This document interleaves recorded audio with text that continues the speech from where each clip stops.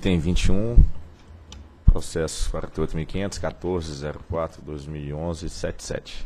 Recurso administrativo interposto pela empresa Triunfo Participações e Investimentos S.A., em face do despacho 2198 de 2012, que indeferiu o pedido de prorrogação do, de prazo para a elaboração do projeto básico da UHE Estrela, situada no Rio Verde, estado de Goiás. Diretor relator, doutor André Peptoni.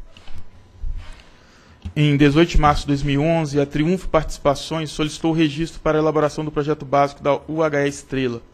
Por meio do despacho 1718, a SGH efetivou o, os registros como ativo, fixando prazo de até 26 de junho de 2012 para entrega dos estudos nos termos da Resolução 412.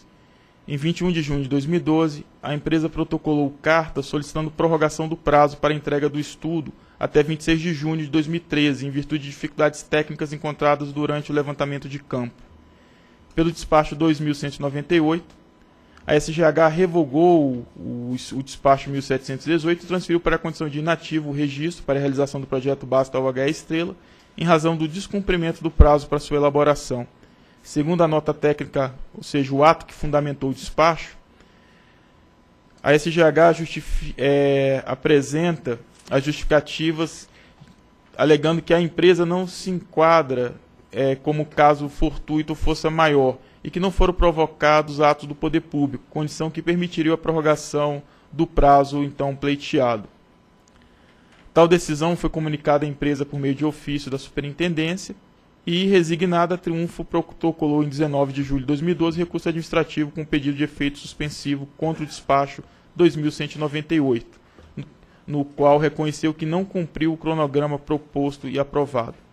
A empresa, contudo, justificou que o atraso de se, eh, se deu em razões de ter constatado que o nível de água normal a jusante da UHE Estrela divergia do previsto no estudo de inventário, o que acarretou o deslocamento do eixo da usina e demandou a realização de novos estudos. A empresa solicitou tratamento isonômico ao dado em recentes decisões da, do colegiado em que, comprovado o atendimento ao interesse público, prorrogou o prazo para apresentação de estudo de inventário de projetos básicos. Em 16 de agosto de 2012, fundamentado na nota técnica 364, a SGH manteve a decisão, constante do despacho 2198, e encaminhou os autos para julgamento da diretoria, é o relatório, procuradoria. É a sustentação oral? Então, procuradoria. A procuradoria não foi consultada nesse processo, então a nossa análise aqui fica prejudicada.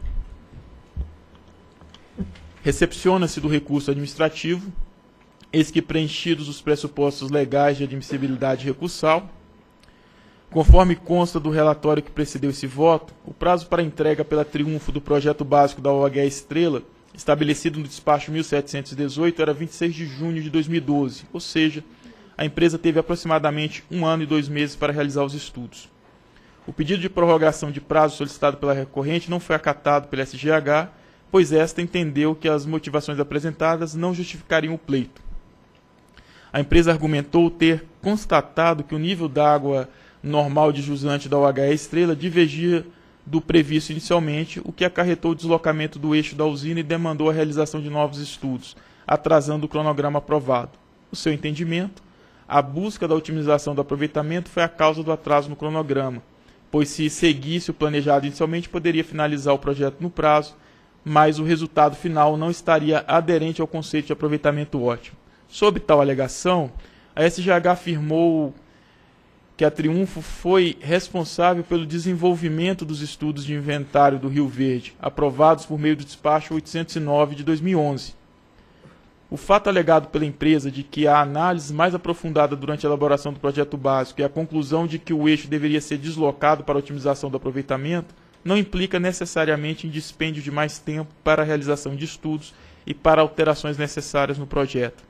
Destaca-se que a realização dos estudos do projeto básico para a construção de usinas hidrelétricas enfrenta uma série de condições de contorno que estão incluídas no prazo de 14 meses definido na Resolução 412 de 2010.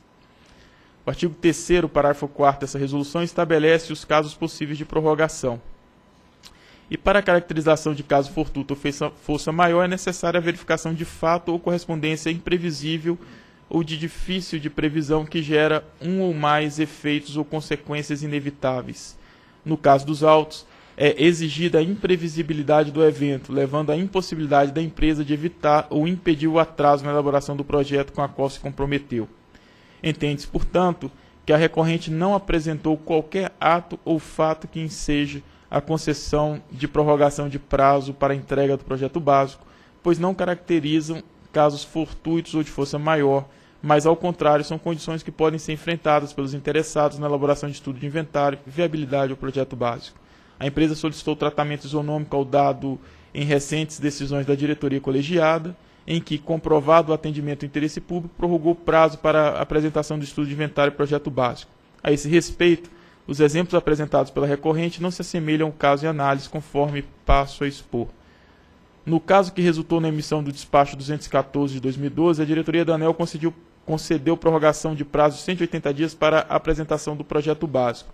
A diretoria entendeu que a identificação de extensa caverna na escapa lateral adjacente ao local de implantação da câmara de carga de uma PCH exigiria a realização de estudos específicos de forma a se avaliar adequadamente sua influência sobre o conjunto de obras previstas. Dessa maneira, conquanto a existência de caverna não caracterize caso fortuito ou força maior, a complexidade de tal fenômeno geológico e geotécnico impôs aos estudos foi fato suficiente diante de suas peculiaridades para que a diretoria afastasse a aplicação literal do parágrafo 4 do artigo 3 da 343.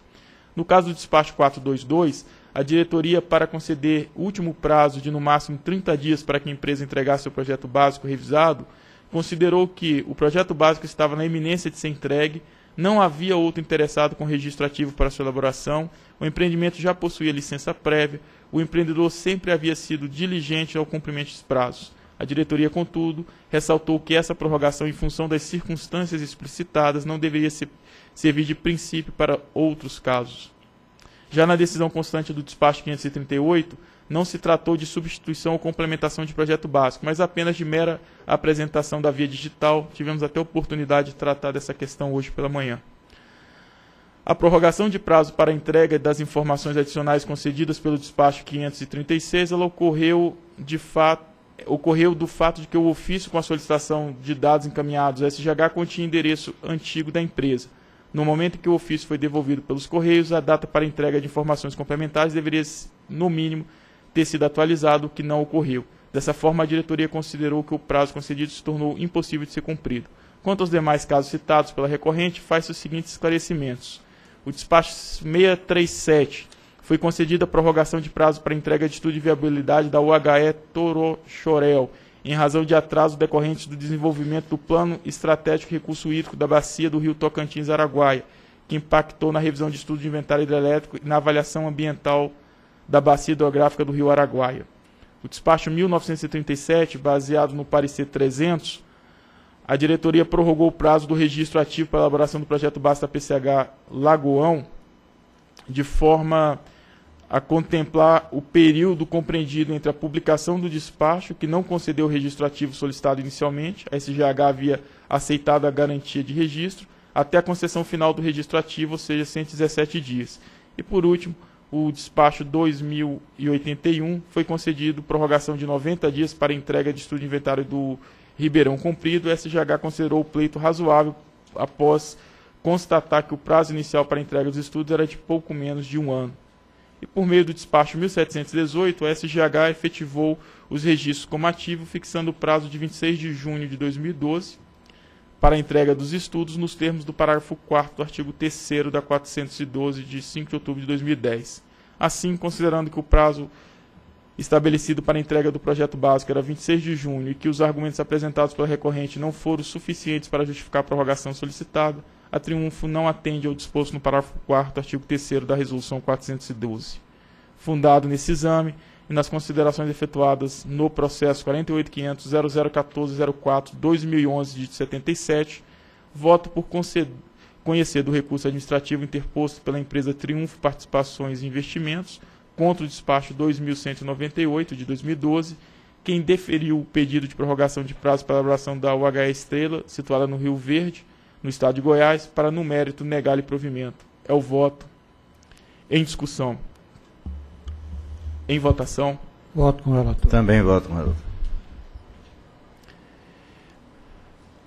A diretoria proclama então que a diretoria decidiu conhecer do recurso administrativo interposto pela Triunfa contra fechou aqui.